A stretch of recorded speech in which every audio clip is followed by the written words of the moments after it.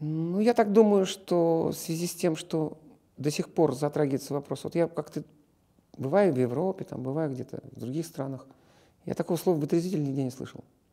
Ну, по крайней мере, там что-то, может быть, и есть медицинская какая-то терминология. Как-то людей же тоже выводят из этого состояния. Там же тоже есть алкоголики. Их же также лечат. Есть клиники, где лечат просто больных.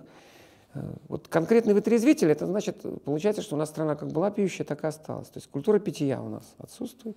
Но человек может, мы сами можем все надрызгаться. Э, иногда до чертиков говорят, да? То есть, может, в этом есть проблема какая-то.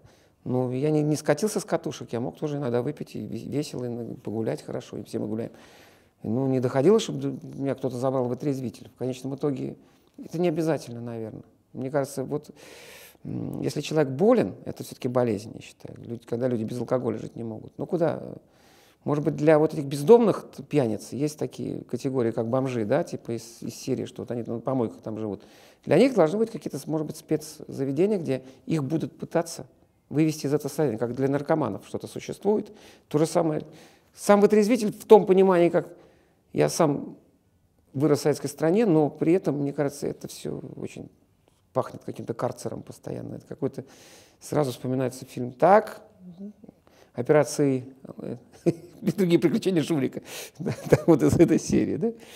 Когда, ну что, граждане алкоголики, да, тунеядцы, это этим попахивает. На самом деле, мне кажется, должны существовать какие-то клиники специальные, которые будут выявлять, что вот э, человек болен этой болезнью.